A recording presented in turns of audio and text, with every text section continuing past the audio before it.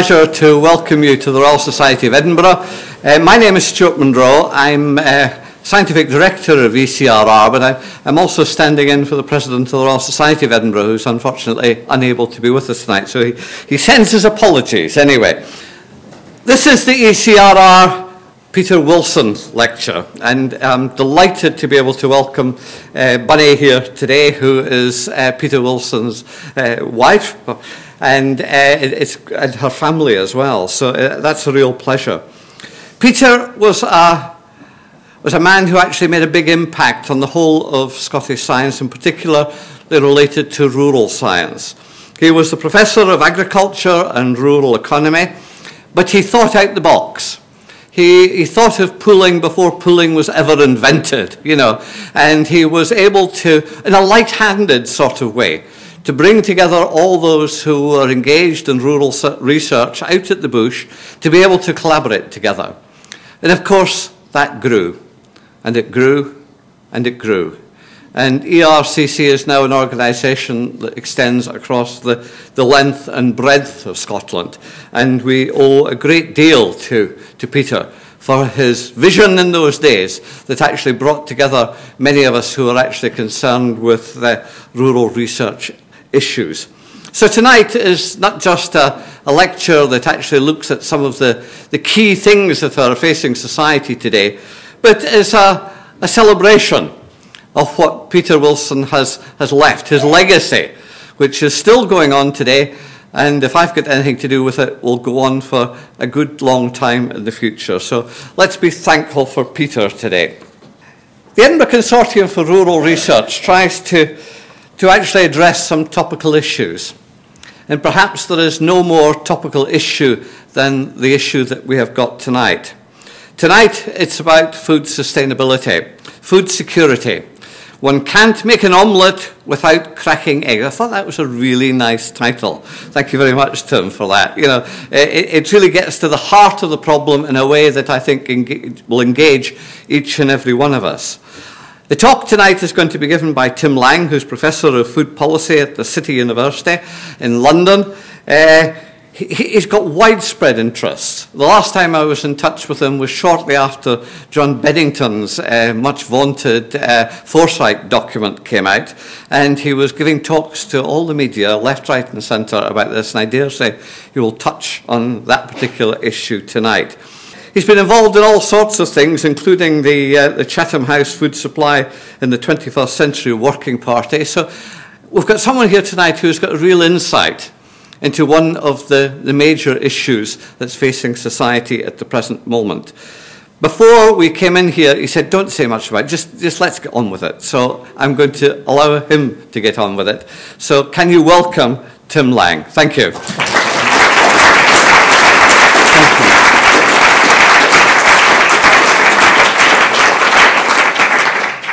Uh, thanks very much. Thank you for that very nice welcome. And thank you to the family of uh, Peter Wilson.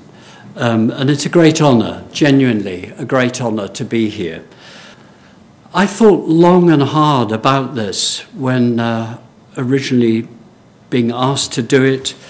And it's something, this whole area about where, where this whole issue of where is the food system going, um, troubles me. I've spent my entire working life uh, really dealing with this in all sorts of ways. Um, and yet, this notion of food security is something that I think helps pull it together, uh, but also makes different demands of what we think about our food. So, I have prepared a whole lot of slides um, but because I spent a fair slice of my life at one point working in polytechnics, I always put up the first slide that says everything, so you can then go to sleep. so I'm assuming you read while I talk. Essentially, it's nothing new. I'm going to take you back, and I should have said I'm a social scientist. I should have said I'm a social scientist. And even worse, my doctorate was in psychology. And I, one of my treasured possessions, which I gave to the British Library, which is archiving, uh, well, not me particularly, but the sort of food world I come from, um, is a, a, memo that was leaked to me from the farming world, which said, This man is only a psychologist, um, which I loved. I think they regretted it, actually. Anyway, we'll come to that. Are you still reading? That was a test to see if you're still reading. You've got to listen to me and read. Um, basically, I'll summarize that in best polytechnic way. We're in a mess. That's it. And there are different ways of charting our way out of it. And I, although I'm in front of you wearing a suit and a professor, and I hope evidence based, I do my best, I think there is a real problem of politics with a small p. Not party politics, although we've got that too. There's just timid. Are you fourth to bottom bullet point? Policy engagement is timid. And I don't see us cracking this omelette, or cracking the eggs to make the omelette, or omeletting the cracks, unless we get the politicians to think broader than they're doing at the moment. So I want you to bear that in mind. And part of the problem, the heart, the big message I have, is I think while a lot of good thinking is going on about production of food for the future, next to no thinking is going on about shifting demand.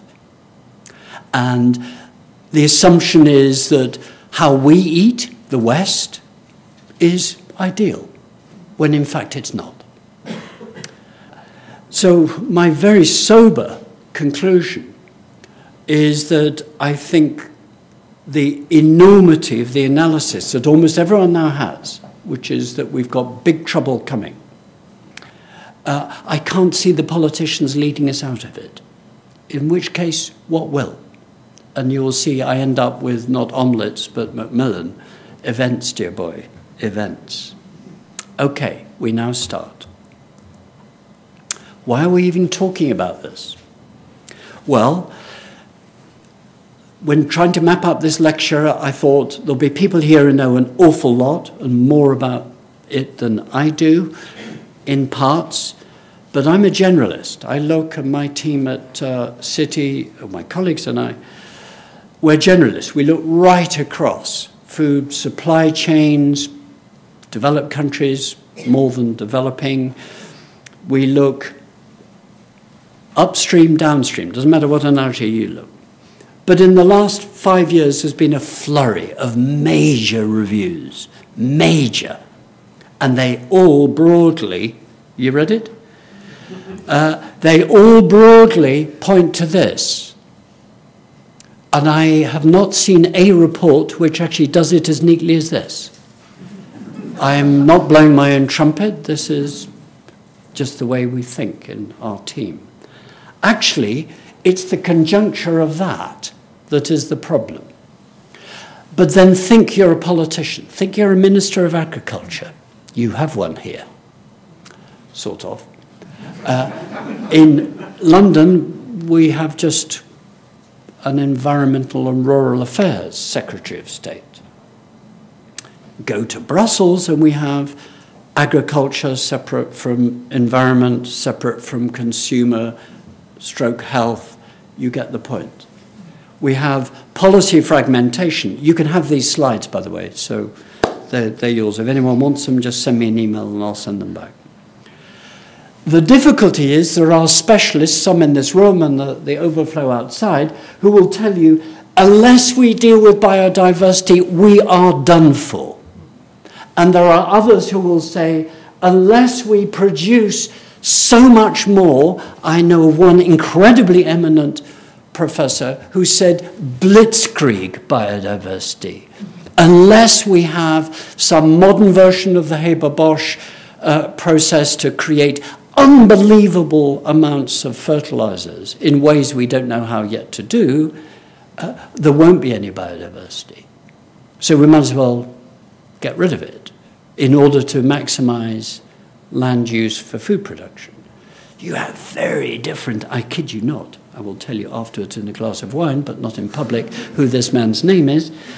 Uh, but I assure you, he said it. in front of the head of English nature and her jaw dropped deeper than mine.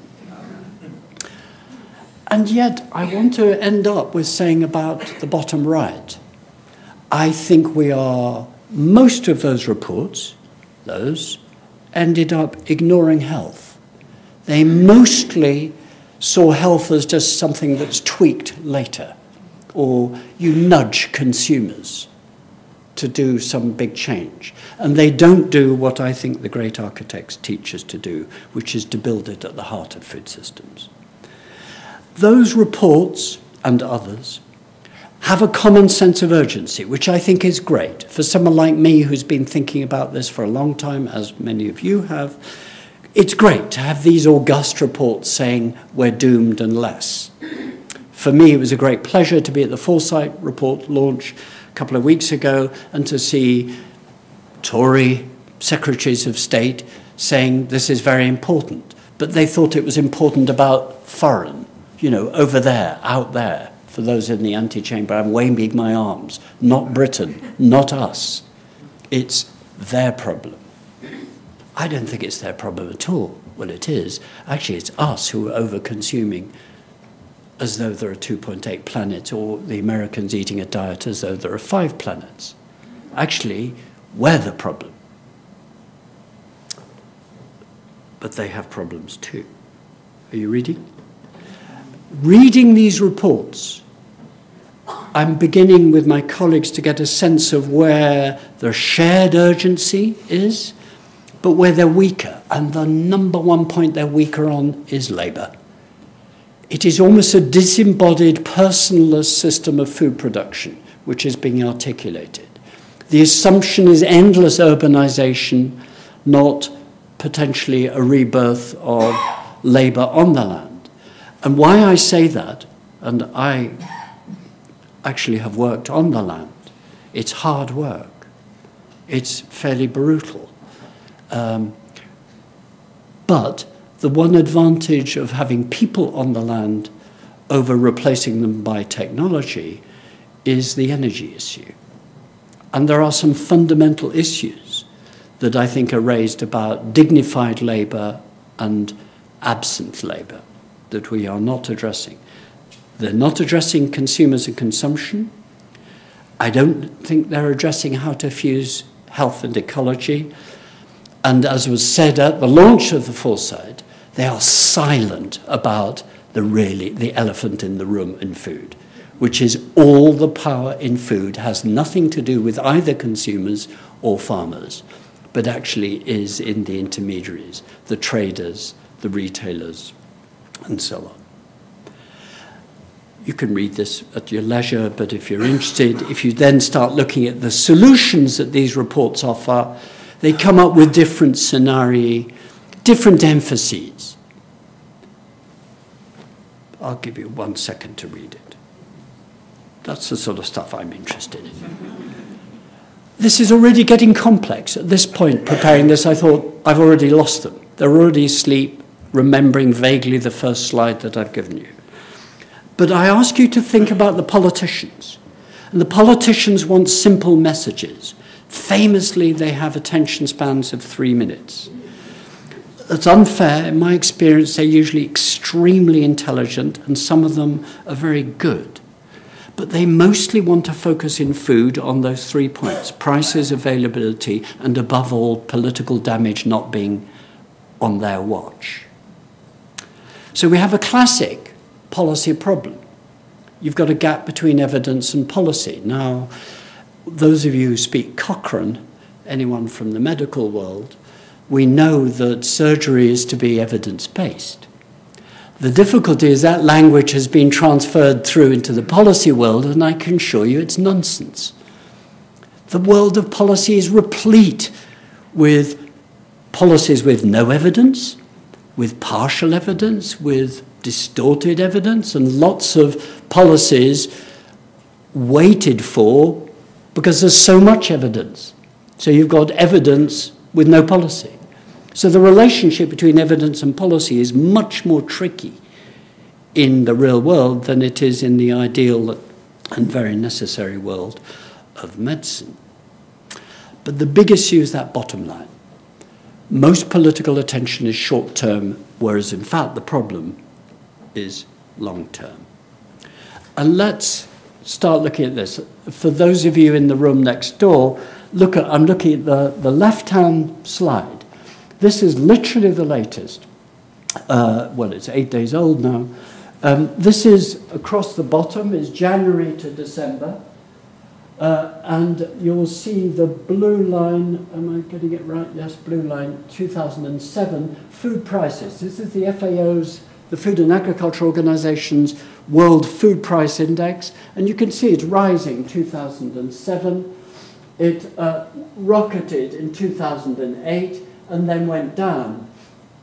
And the Chatham House report that I was on the Working Party for three years, put together, by the way, by one of the only ministries in the UK which does have long term interests, you'll never guess, the Ministry of Defence.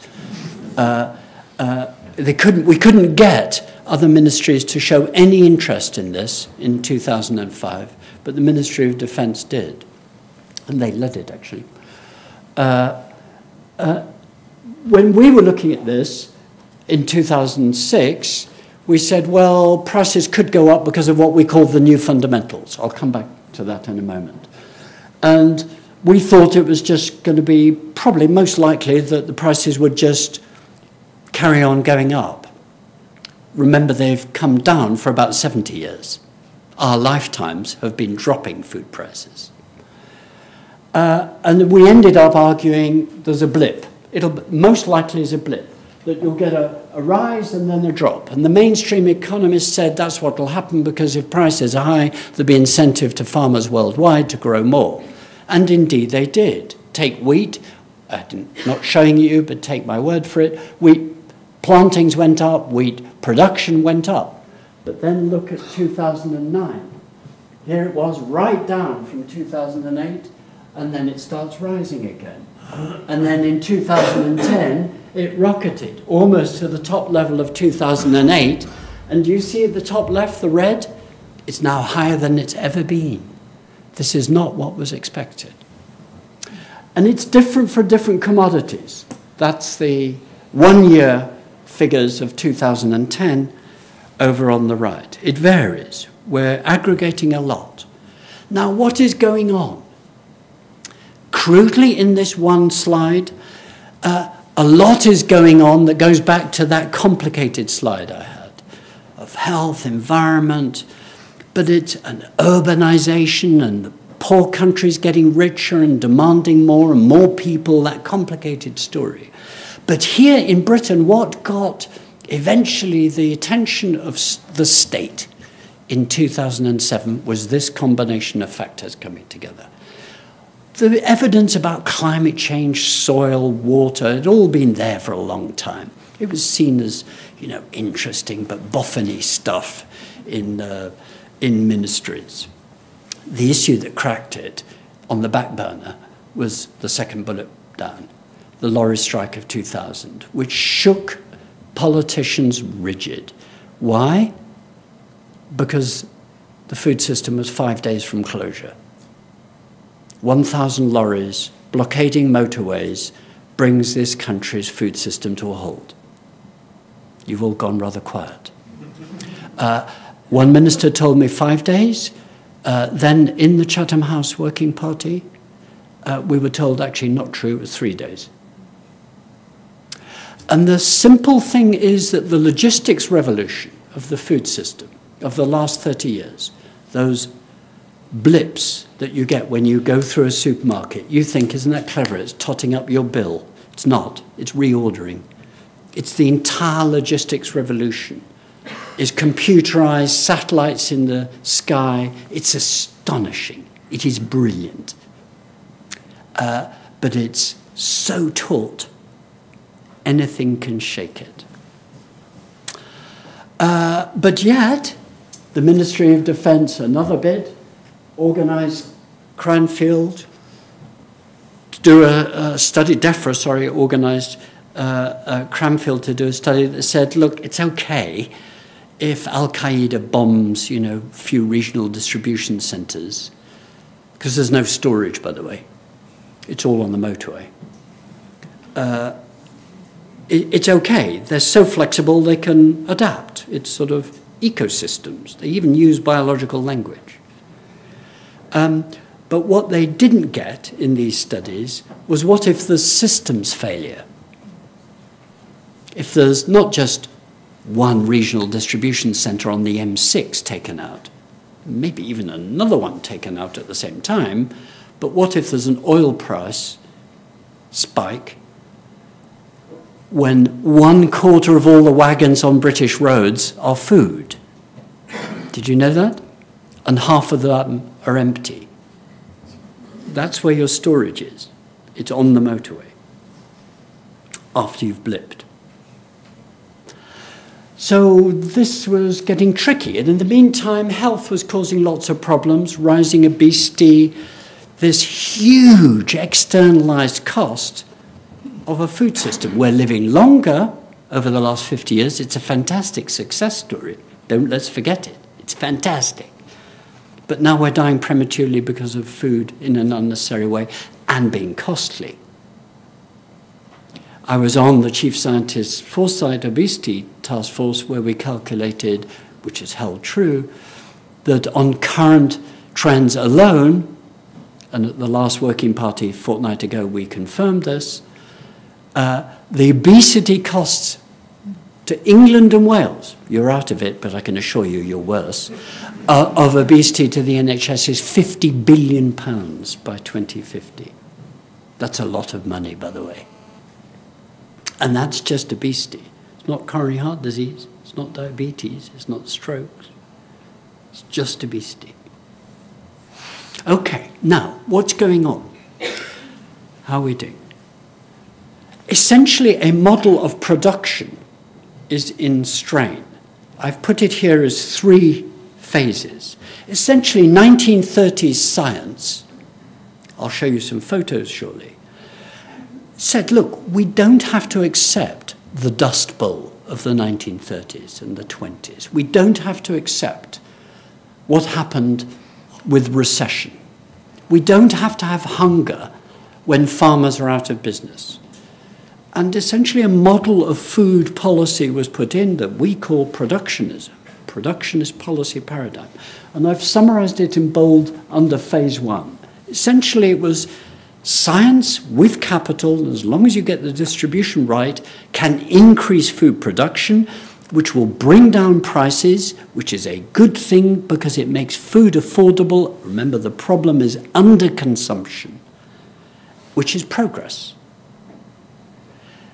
And basically, that was the model that was rolled out from the 40s. It was 1920s and 30s science, heavily influenced here, heavily in Scotland. I will show you who in a moment. And by the mid 60s and 70s, it was in trouble, but saved by the bell by the Green Revolution. And it's trouble, it's that that's in trouble again now. Uh, and there are very strong voices saying we can save it again by increasing production again. And that's what I'm questioning. I think we probably will need to increase production or do production differently, but the point is producing what? In what quantities and in what mix? That's where I'm going to end. But I want to remind you all of this complexity is building up while governments are timid, institutions are fragmented, we've joined Europe. Europe's become very big by now, by the 70s, 1970s. And competition rules are being made easier. Giant corporations are emerging, not just in food manufacturing, where they were already existing by the 1900s. Unilever, remember, was founded in the 19th century, Nestle in the mid 19th century. But by the mid to second half of the 20th century, we have fantastically powerful retailers and traders. Cargill, one company that now controls 80% of all the world's grain trade, one company, is a private company and completely unaccountable. Let's get formal. What do we mean by food security? I spend a certain amount of time in the FAO, uh, I'm on a working party about biodiversity and uh, food security at the moment, believe it or not. it's usually in FAO speak, food security is available, the three A's availability, access, and affordability. Or if you can read the, the, the long quote I've put there while I'm talking, you know, it's all there, situation exists, all people, everything, it's all motherhood and apple pie. Great. It's lovely. I think it's very important, but it doesn't say anything about the environmental sustainability. Food security is still framed as being a problem of underconsumption. True, there may be 1.2 billion people overweight and obese in the world, only a billion suffering hunger. But it's the juxtaposition of those two that is now the reality, and which is showing the failure of productionism. Just having more food is not meeting social needs. So I'm a radical on food security. And the problem I, as a social scientist, have with food security is it means lots of different things. I may show you the formal definitions, but actually surrounding it are lots of complicated, articulated terms, which I've put in italics on the left hand side. And these are important. So, food security is looking a bit like I, as a psychologist, would have called a Rorschach test. It is whatever you want it to be. See the ink blot, read it, and it tells you more about you than about the ink blot. but it goes from hard to soft. We can talk about rationing implicitly, or we can talk about capacities. A good food system one which gives security is one which has adaptability and flexibility, as in biological systems. There are models like this, the excellent Arne Oshaug, a very lovely professor of nutrition in uh, uh, Norway, with, uh, in fact, Lawrence Haddad, uh, uh, one of the members of the chief scientist Foresight report that came out a fortnight ago you know, here, although they're talking about food security, very much in the three A's terms, those are those boxes there. For the room next door, it's the middle row of boxes. But because they're smart people, they were saying on the one hand nutrition, but we've also got to have it ecologically sustainable. The problem is when it comes to the political classes, the ecological sustainability gets lost. It's all about prices and is Tesco full? I put this in to remind myself, but I've said it already. The food system is already failing on its own terms. If we just judge food security as being about production, it's already failing. And the prognoses for these sort of maps get very, very sober indeed because of climate change, water, etc. The whole of the middle of the earth starts shedding people and food capacities further north. Scotland gains, actually. This, by the way, I said some pictures. You probably didn't expect me to put up Karl Marx. Actually, the man who is really the important one is the man in the middle, Malthus. Essentially, we are unraveling food security as a Malthusian problem. The legacy, particularly we have in Britain, is, as he articulated, a capacity to increase food production, which is there, science and capital. He was talking about it in 1796 8. But it's held back by the capacity of humans to breed and the, the classical Malthusian problem that populations grow geometrically, food capacities only increase arithmetically. Marx, why I put him here, I like the alliterism alliteration of three M's. Marx was a great fan of uh, Malthus. The reason we have a census is because of Malthus. Uh, every 10 years. Marx said he was utterly brilliant but completely wrong. Because it was capitalism, Marx said, that held back the productive capacity to increase more to keep up with population. Uh, and in a sense, that's where you see what happened to Soviet agriculture and Vavilov and everything. For those few people are smiling, an extraordinary push on genetics, which of course is the other M at the far right. he's really the legacy man, Mendel. And in a sense, those three were played out but exemplified in a sense by these two. These are all symbolic. Bennet Lawes, who founded Rothamsted, very wealthy industrialist, founded his own research station uh, in Hertfordshire, still going. Uh, and von Liebig, not quite as wealthy, but politically more influential in Germany, uh, Austria, uh, of the old empire. But essentially, they were friends but rivals, and they said, look, chemistry will resolve this. We treat the soil as blotting paper, and we pour in nutrients, and we'll make plants grow. It was brilliant. But the people, you forgot that I said a Scot, there he is, which is the doctor. You're right, it's the one smoking. That's the great Boyd Orr. I have a photo of him on my desk uh, uh, at home uh, uh, and at work. I mean, he's really the architect of productionism. Uh, uh, an Aberdonian doctor founded the Rowett with industrial wealth, not his, but someone else's.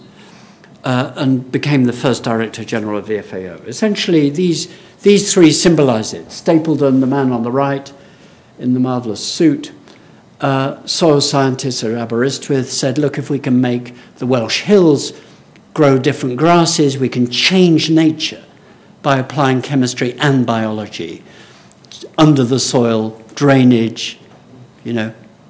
Half the world wants more water, we tend to have a problem of too much.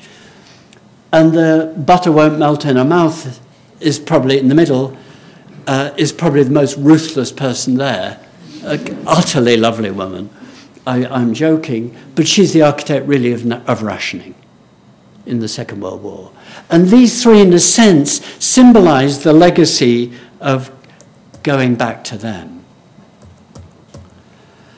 And Boyd Orr et al., really, we owe everything to, because they were utter visionaries but I think we need to now question the limitations of productionism. And I think all the reports I showed you at the beginning are still locked into a Boyd Orr view of the world, that the problem is production.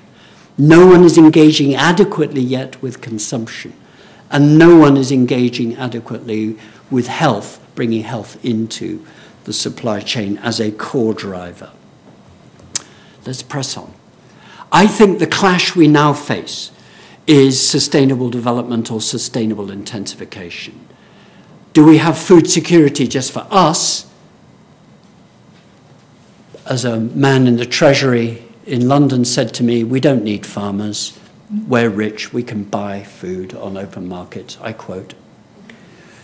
Uh, or do we take a view that land everywhere is to be treasured and nurtured and seen as the foundation not just of health but of our civilization? Do we focus on production or do we look at the whole food supply chains? And the tricky one is the one at the bottom. I cannot see how we can build a sustainable food system for 9 billion people because we haven't even got it for 7 billion people, that's today, unless we consume less to allow others to consume more. And the test case I want to give you is of horticulture in a moment. I'll skip that. Now, I've been talking about the food system. Forgive me this graph, this graphic. Essentially, a modern food system is input, it's in the middle. For those of you in the antechamber, I'm looking down the middle. Imagine it that it goes from input through to production, to uh, consumption. The phases of the food system are discrete. They build on across the top in blue. There are environmental givens, land, water, biodiversity. There are social influences that we draw on in the food system, wanting things from it. And it's all shaped by economic drivers. And the whole food system, the supply chain, has outcomes waste, energy, health, ill health, social impacts, cultural impacts, all of which are fed back in a permanent loop, but they are shaped on the left by institutions. And they are affected entirely by what my colleagues and I call shaping forces. This gets very complicated. Now, when I, the Foresight obesity report that I was on for the chief scientist, we ended up with a huge and complicated systems map. Anyone who's seen that report? Has anyone seen that report? You're all looking blank. It's wonderful. It's a spaghetti model. You just think this is a complete joke because it's all so complicated. But that is the reality. It is complicated. So we have to think in terms of a food system. Now, why are policymakers seemingly unable to grapple with the food system's unsustainability? The short answer is it's complex. It is complex. You can't blame them for thinking it's difficult. But some think there isn't a problem at all. That the determinants don't exist. And you're actually now getting a very subtle and very good argument. notably, I've just read last week a wonderful long essay about to come out from Mike Hulme, the great climatologist, saying, look, even though he spends his life working on climate, too much is being reduced to climate change. It's not the only factor. The problem is putting social factors alongside climate change factors. At the moment, policymakers are almost being sold an argument that everything is about climate change. Unless you sort this out, Minister, we are doomed. Not true, actually. Not true. We can adapt. We can do all sorts of things. It all depends whether we get consumers to change what they do. So it's choice editing, or do we just assume they can do what they like? Do we behave like Americans, or do we grow up? Even conventional, half my family are Americans, I should confess, but they're not listening or they're not in the room. Even conventional economists are now saying we are in trouble. You don't need to look at this too detailed, but basically, the OECD, the right wing think tank in Brussels, in, in Paris, is concluding that food prices are going to be very tricky. They think they're going to be lower than they were in the 2000s, in this coming decade, the present decade, but they're going to be much higher than 1950s and 40s. Behind it is this. This is a nasty graphic, but I like it. The middle ring is 1950s, sorry, 1980s. Then it moves out you start 30 years ago and we're at the present in the outer circle. It's saying, where do we get our food? From which groups of foods? And what you notice is that meat, this is the amber color, the ginger color for you in the next, uh, in the antechamber, grows from the 1980s uh, as not small, but it just about doubles by um, uh, uh 2050. And you think, well, that doesn't matter, it's not very big. That's not a very big change. But the problem is that the way we're rearing our meat, 50% of all the cereals is fed to them. So the land use of the meat and dairy production is astronomic. It's not Scottish style having some Aberdeen Angus on a hill, eating thriftily. It's treating your cows as royalty and just throwing them on the hill occasionally. It's a different way of farming. I'm an ex hill farmer. In other words, the animals are rivals to us instead of helping us. I'll miss this. Now, in Britain, let's get more British.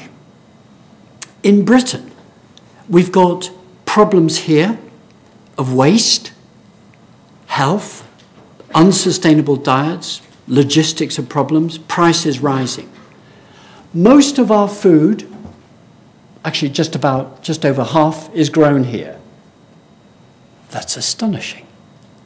You mean we're the fifth richest planet, a country on the planet, and we don't even grow our own food? Now, this is a historical legacy. The government's position, the British government's position, is it doesn't matter, it's very spread. There's no risk. 7% coming from Netherlands or Spain. But the Spain one interests me particularly because it's where a vast amount of our horticulture comes from. And in public health terms, we want to shift away from meat and dairy to having more plant based. We're only producing, I'll show you in a moment, we're only producing uh, about 50% of the vegetables that we consume in this country. And we're only producing 10% of the fruit that we consume in this country. And both of those should double. That's not a very helpful one, but it basically shows you the imports rising. Look at the dark red going across from 1988 to a year ago, 2009. Basically, homegrown production in vegetables is dropping, imports are rising. In fruit, look at the rise, the astronomic rise of imports, which you can look at by the drop. But in fact, a little bit of a rise under the last government of horticulture from the blue. These all show the same things. If you look at these slides later, these, I love these sort of things. These are getting to my favorite sort of spaghetti status. Lots of lines. Um, across 1985 to 2009, you see a collapse in uh, dessert apples, the top. You see one of the only things that's grown is cider apples. This is the rise of cheap cider. Big incentive there. And actually, in strawberries, where's strawberries? Strawberries dropping and then going back up. That's loss of plastic greenhouses in Shropshire. Is this ecological production? Don't know, but you can get English strawberries, English strawberries, not Scottish, nine months a year. Uh, this is lots more. You can look at it. Always over the top. Now, where are we going? There are lots of statements on food policy, on food security. But I put here, this is from a report that uh, we did. Actually, you have to go back to 1947 to see the sort of big change that I'm implicitly, but now explicitly saying I think we've got to do. In 1947, the Agriculture Act reversed the repeal of the Corn Laws, 100 years later, uh, 100 years ago before that, sorry. I think we need something as big thinking as that. We need an, a sustainable food act. Something to say the only basis for the food system is to be low carbon and healthy. Something that dramatically changes the direction and the temperature. Instead of which we've had dribble, dribble. I can do it very politely, but I won't. This is where I think we've begun to get a recognition of the enormity. It's here, 2008. Here's the cover, front cover on the right of the Food Matters report. This was the first report since the Second World War which did a systems look at the British food system, and it was UK wide. UK, not just British. And it said, we have to dramatically change. And I can tell you, because I was an advisor to that, there was blood flowing down Whitehall about that before it came to, well, what do we do about it? And that taught me a lot. That's why I'm here, actually. because essentially the British state didn't want to engage. And it was torn between the power of Tesco et al manufacturers et al., who said business as usual. A tweak here, we can sell low carbon crisps, but we don't want to really change, which Walker's does. But we don't really want to change the system. We don't want to have a 50 year plan to shift entirely. And reluctantly, the British state began to engage. It was difficult, they didn't want to, but there was pressure building up. Chief scientists were really important here in Scotland and elsewhere, Wales too. But that's just taken a step back. For me, the bad news about the election was that the new government is dominated by a cuts agenda and all the ministries are weeding out staff, getting rid of advisory bodies. I declare an interest. I'm a commissioner on the Sustainable Development Commission. It's been abolished. The Royal Commission on Environmental Pollution, abolished. So, just at the moment when reluctant beginnings of engagement was emerging for the UK state, a very significant player for the EU, we're actually backing off. And the same has happened in the Netherlands, and the same has happened in Sweden, which makes me very nervous. I accept the policy coherence is not helped by some contradictory messages. Arguments about the price spike being affected by speculation. It was an effect, said the World Bank. No, it wasn't, said the OECD, one month apart. Have we got peak oil? Is it going to have an impact upon food? It's not yet, says the IEA.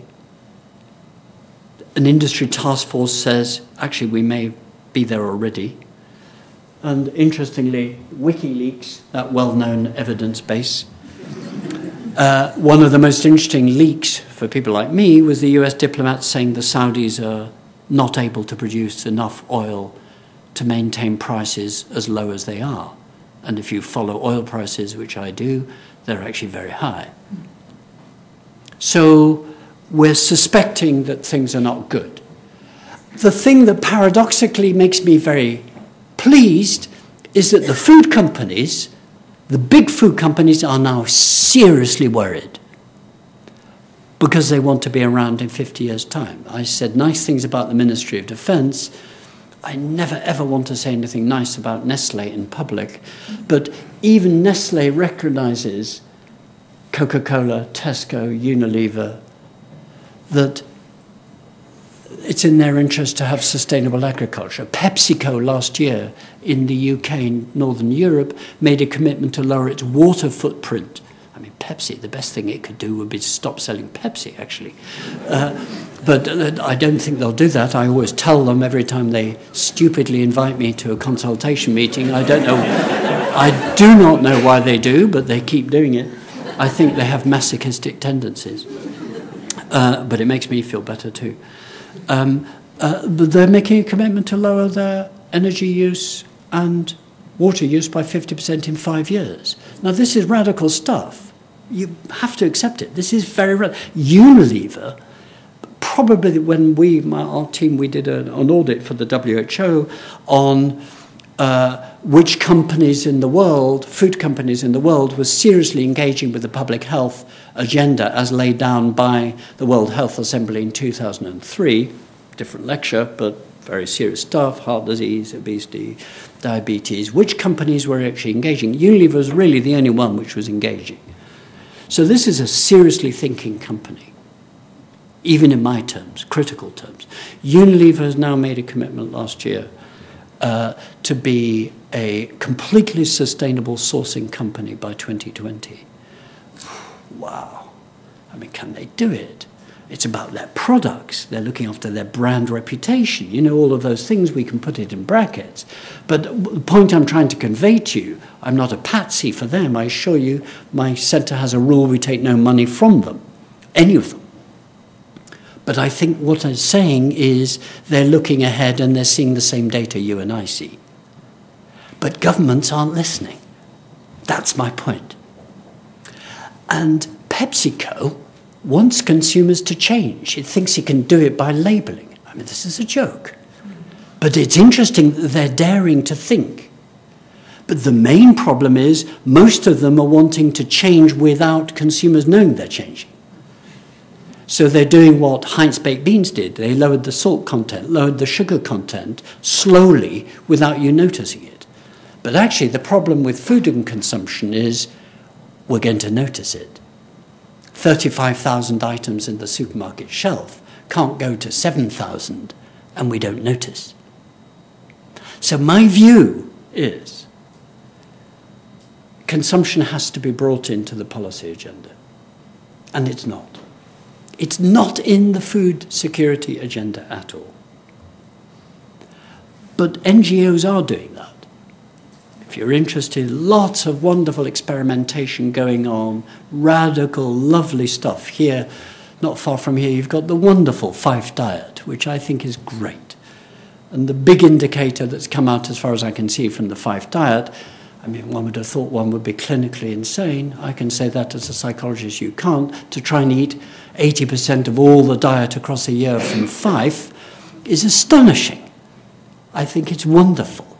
But they've lost weight. Great. Exactly my point.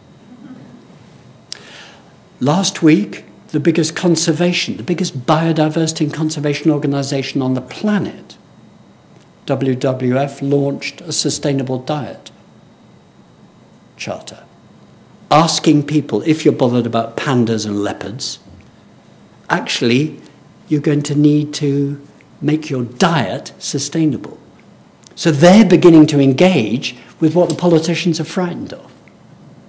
I think your husband would have liked that. She nodded. Mrs. Wilson nodded.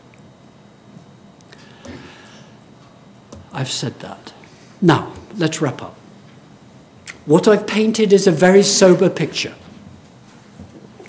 But I'm optimistic. I want you to know this. I think, as the great man said, you can fool the people a lot of the time, but not all of the people all of the time. And I think we're waking up. This is wonderful. But, in a very everyday sense, this is what my colleagues and I think there are. There are now different policy positions which are all competing for policy space. If I was to analyze, and I'm about to start doing it, doing what I did in the 1980s, asking parliamentary questions. Sorry, I can't ask them, but you get friendly MPs to ask them. Has the minister met representatives from the food industry how many times, sorry, how many times has the minister met people from the food industry in the last year? What we're already finding is there's a lot of revolving doors going on with some people from the food industry. I speak as an advisor to the Department of Health. I am troubled by the responsibility deals where Kellogg seems to have an enormous influence. I speak very carefully. Have you read them? Essentially, I suppose what I'm saying is solutions I think that are really sustainable are going to be in this bottom end. There's a tussle, I think, between sustainable intensification, which the chief scientist and the Foresight report has gone for, or whole system change. I go for that. The Sustainable Development Commission went for whole system change. Said if you really want food security, this was our report on food security. The only way to have a secure food system is to make it sustainable. And that requires consumers to change, production to change, distribution to change, in fact, everything to change. And that sounds dangerous, radical stuff. Well, it will be if we wait till a crisis. But it's perfectly doable over 30 or 40 years. Where to now? I have been arguing this. I've been arguing essentially, this is a more complicated version of that four part I put up, that a secure food system has to deal with all of these. And at the moment, it's trading off gains in one for losses in the other. What we need is an omni standards approach, something that integrates the totality. Each of these has a good evidence base. It is stupid to ignore any of these for favouring the others. It's taken 60 to 70 years, the Boyd Orr productionist paradigm, to build this. I think we can plan for 30 to 40 years. One of my disappointments in the Foresight report, replete with wonderful data though it is, the Foresight Food and Farming report that came out a fortnight ago, was I thought it was incredibly weak about institutions. It said nothing about who's going to do this. Because unless you've got people who are going to do it, unless you've got champions, unless you've got institutional structures which facilitate that, you won't get anything, anything vaguely like this. The last government reluctantly set up a food policy council. I was on it. Had food industry people, non food industry people like me on it. It was beginning to gel and get it. That's why we got the Food 2030 report their final statement abolished. The thing that upset me was something you weren't even aware was created, which was the Cabinet Food Committee. From the last four years, for the first time since the Second World War, we had a Cabinet subcommittee dealing with food. It had a wonderful acronym, DAF Domestic Affairs Brackets Food Committee. That's the sort of title of a committee I like. A real wonky one. Chaired by the Secretary of State. It was English, but had subcommittees going to Scotland and Wales. We had for the first time the beginnings of something that was getting interesting. Right, let's end with these. I have been arguing, I think, a process of shifting from the left hand side to the right hand side. We've got to, I think, Stop just thinking how to increase output for current diets, moving to the right, to what do human bodies, I'm not meaning institutions, what does my body, your body need, and how could farming or horticulture grow it? We've got to stop thinking how to mine resources, phosphate, oil, fertilizers for food, but how can we build production on ecological principles? how, we've got to stop driving food policy as a pursuit of ever lower prices to saying, how can we reflect the full costs of production? There's not. No one's paying for the motorway. You and I are, actually. The atmospheric pollution is not being paid for. Yet the entire logistic system of the last, brilliant though it is, of the last 60 years is an externalized cost. So, what I want is instead of having nutrition guidelines that say eat two portions of fish a week, which is what I'll say, of which every report I look at my colleague from the SDC, every report that I've done from the Sustainable Development Commission for five years, I have said I am unhappy until the Food Standards Agency removes that advice. Because where are these fish coming from? If you want to give nutritional advice, you've got to think about the source of the nutrients. Where are they coming from? Where are the omega 3s and omega 6s coming from? Seaweed or fish? If you want seaweed, well, make out your eco nutrition guideline. Well, that will be interesting, wouldn't it? Let the British eat seaweed. Have you been reading? Everything changes. Once you say you've got to integrate all of these things together and translate it to absolute practicality, it means reducing meat, probably only eating grass fed meat or heavily grass fed meat. It means you think very carefully about coffee and tea. These are imperialist legacies. It means you have to think very carefully about where you're going to get your fruit from.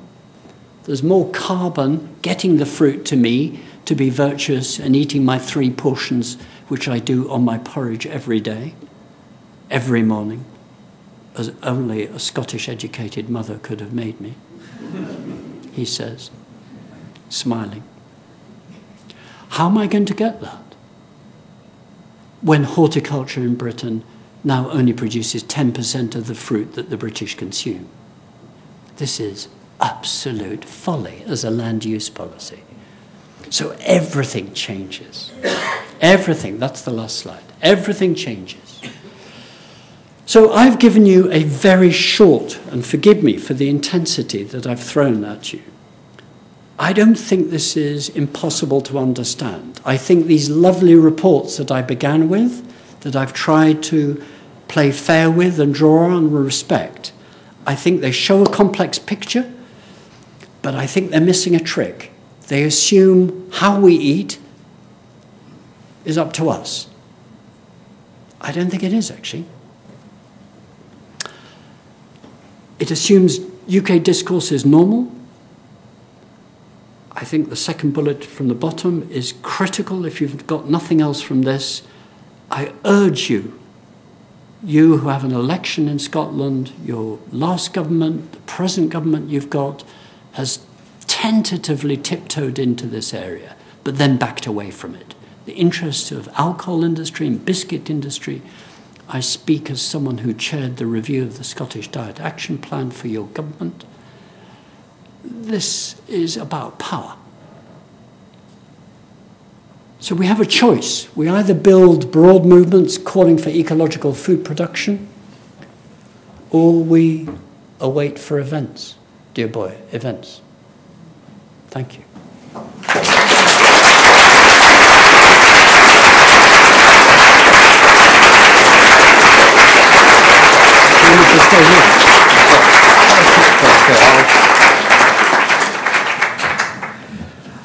Well, ladies and gentlemen, I think Tim has laid down some real challenges.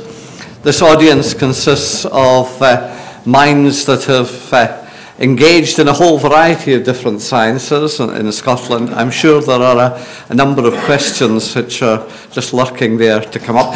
Rules of engagement. Rule of engagement number one, keep your questions short, please. Rule of engagement number two, hang fire until the young lady with the microphone comes so that we can all see. Rule of engagement number three, those of you next door, we're waiting, yes, uh-huh. Uh, if you want to question, you're not distracted at all, come through and give your question as well. We, we don't want two societies here. So, uh, any, who's going to kick off with the first question?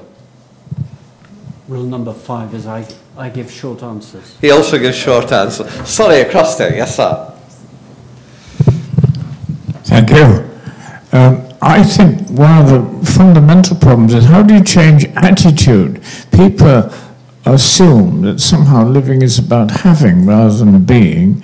How on earth do you get them to focus on totally different things? It's a matter of getting people to survive and realize survival is the only answer, not having and consuming and so on at all. How do we relearn how to contrive to survive and get that message across to everybody? There's no other way. A communication issue, Tim. I think it's more than that. I suppose what I was hinting at was that it's about what do we conceive of as progress. And there's a big debate, uh, as we know. Actually, I think one of the good things that is happening is this debate about why is a sense of well-being not growing as we've got richer. It sounds very hair shirtish. I sit in a suit in a lovely building. You know, why could why should we not have a decent standard of living?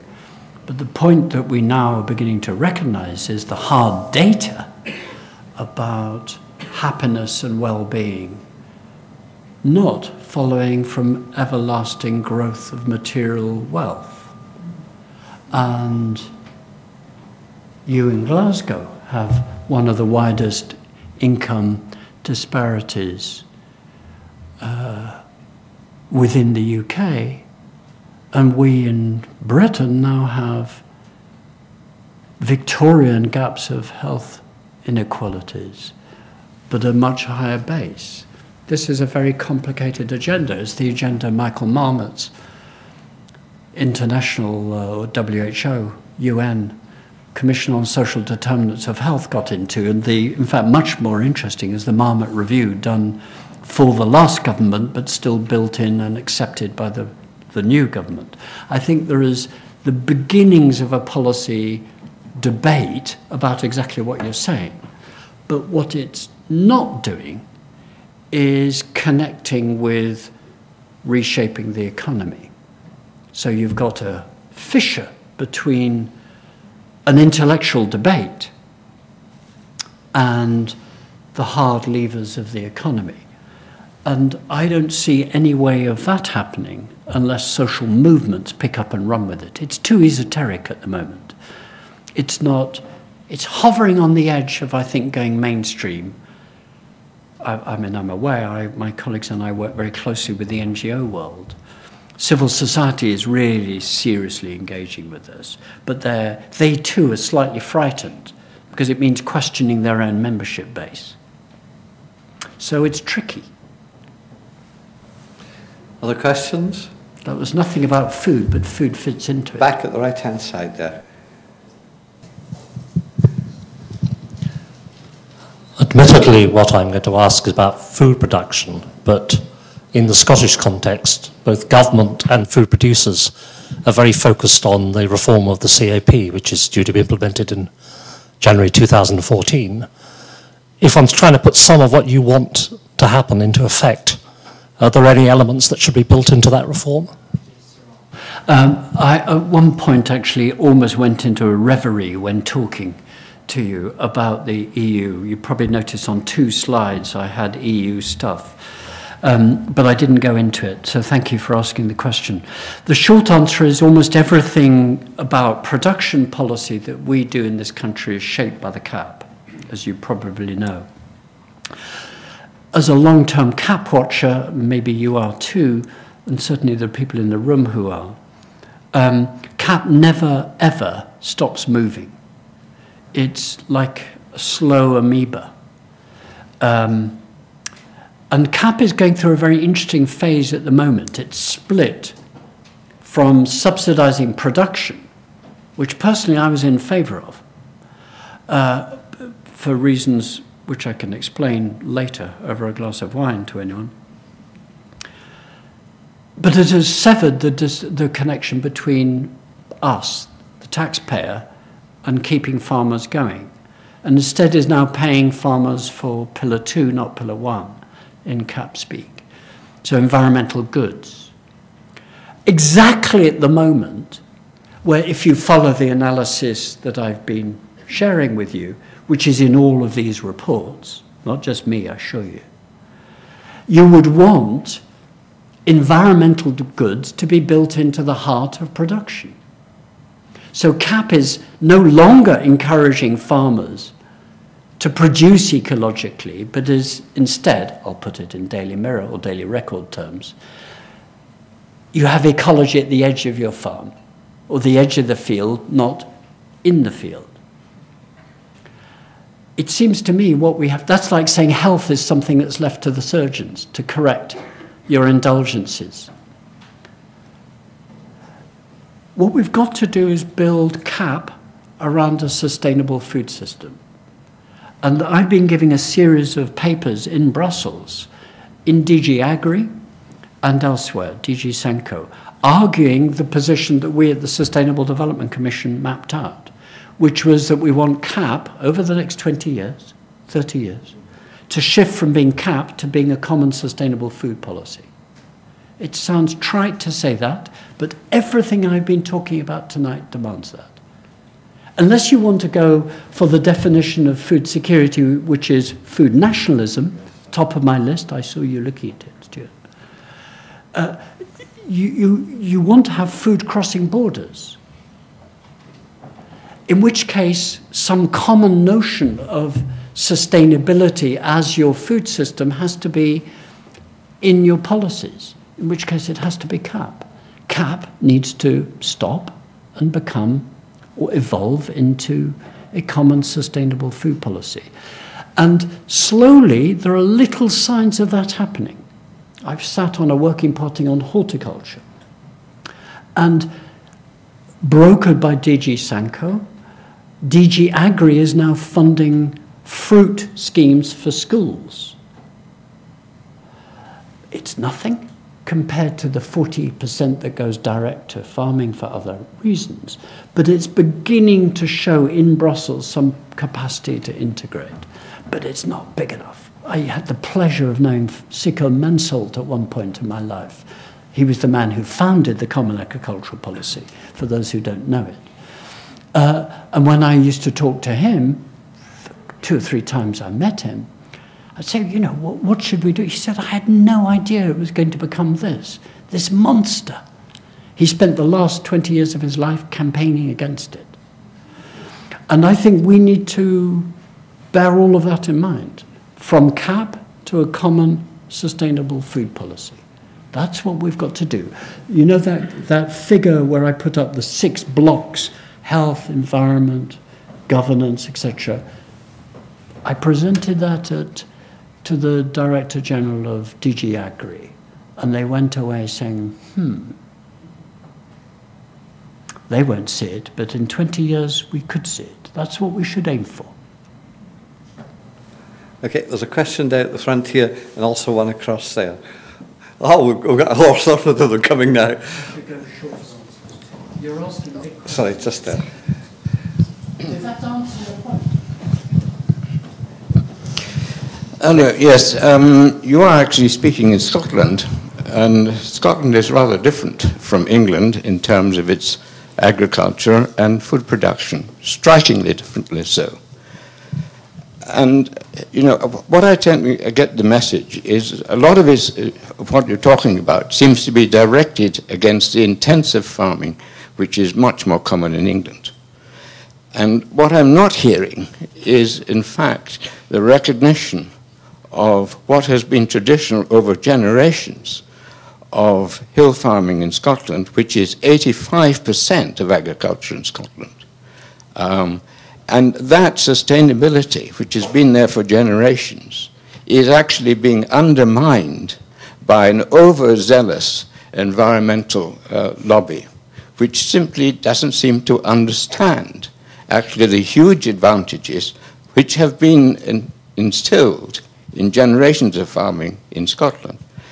And because of the imbalance between the environmental aspects uh, so in a stakeholders meeting, a, a farmer's interest would be outnumbered several fold by environmentalists who seem to have little understanding of actually how farming works.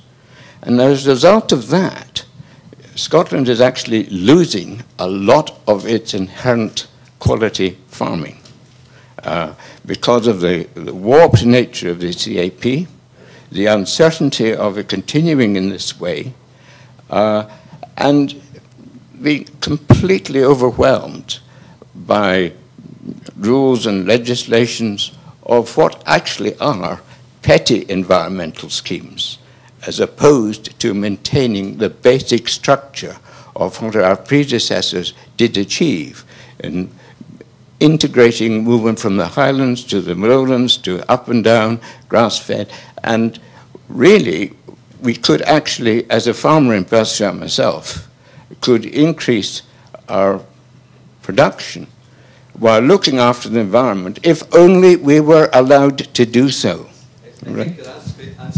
actually. You are, you are. No, I, I, thought you answered your own question. The only thing I would say is that I take the point. I'm an ex-hill farmer in Lancashire, which is not Scotland, but I think I know a little bit what you're getting at.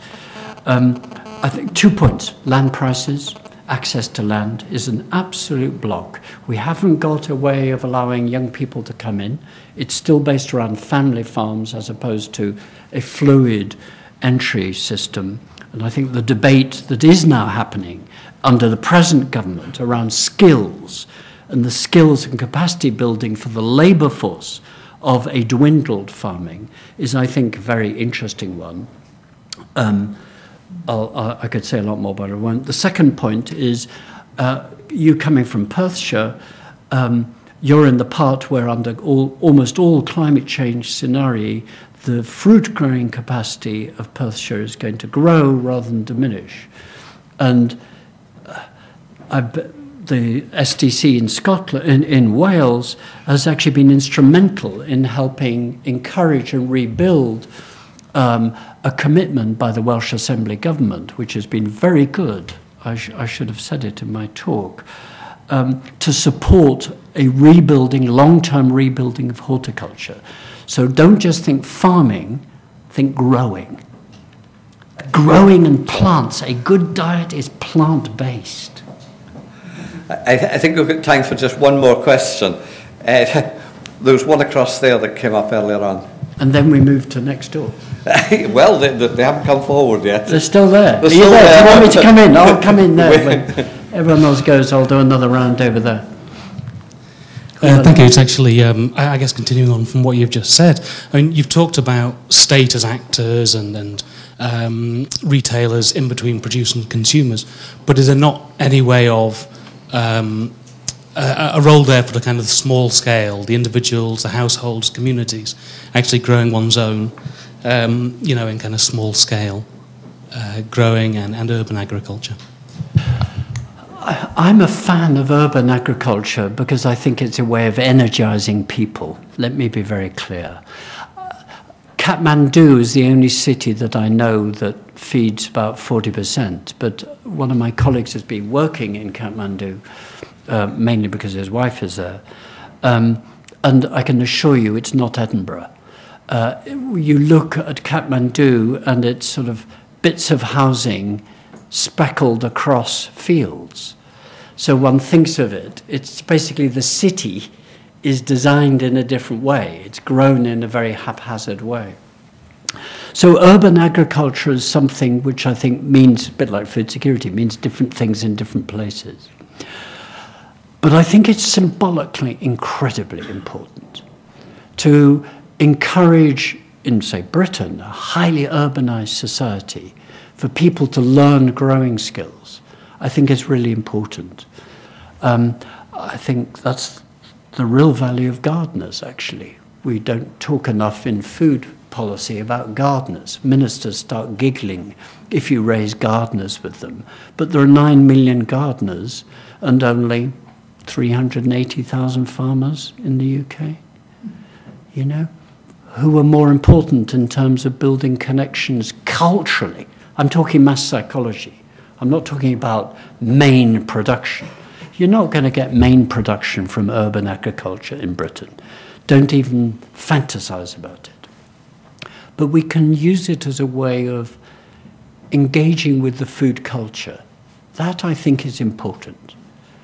Uh, and we hosted a symposium on skills, food skills, at my university, my oh, Centre for Food Policy, and had people from the skills councils, BBSRC, you know, top dogs, alongside this urban movement.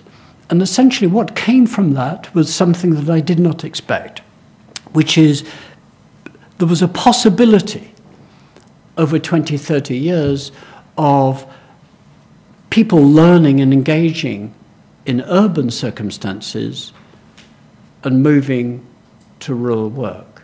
And that's what we haven't sorted out. We haven't sorted out actually a medieval problem, which is living in a village but working out. Part of the drift away from the land worldwide, not just in Britain, has been living in the countryside is not nice. The young are attracted to go to cities. How are we going to deal with that? If you want a skills based, good horticulture that doesn't rely upon Ukrainian labor living in caravans, which is where one of my colleagues has been working with Brussels sprout pickers for a research project. We've got to engage with that. We've got to work out dignified labor on the land. It may sound very odd, It'll come if there's a war. It'll come overnight. So I think we should think about it now.